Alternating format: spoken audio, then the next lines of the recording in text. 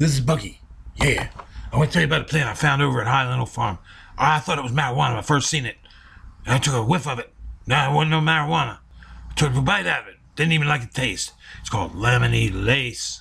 Yeah, lemony lace. It's a elderberry. Produces red berry. You can make it into wine. But I, I don't eat this shit. No, doesn't taste good. I tried many times to eat this. Don't, no good, no good. Yeah, this thing it only grows three to five foot. You most people I see plant this, they plant it three to six feet apart. It's real cold hardy. It can live up in Montana. Yeah, zone three to seven. Has fall color is yellow. Has a white flower. Blooms in the springtime. Deciduous. Yeah, I'd rather eat something else. So I come around looking for something else. Yeah, yeah. These are green giants. They sell these too at Highland Hill Farm. I don't eat those green giants either. They don't taste good. I pass them up. I pass up that lemony lace. Yeah, that's sambucus. Yeah, it's a booger.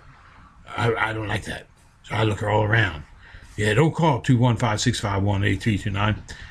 You might find out you're at Highland Hill Farm and they have deer resistant stuff. Now this is something I could eat. This is emerald green. I eat the emerald green. Yeah, I like that. Uh, good tasting stuff. Yeah, I, I, I, I travel all around Highland Hill Farm. Yeah, looking for good stuff to eat.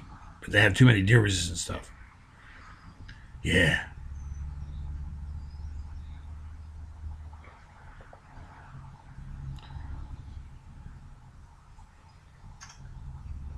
Ooh, that emerald green's good. Real good stuff. I like them. Well, what do you say, Teddy? Find another place to go shopping?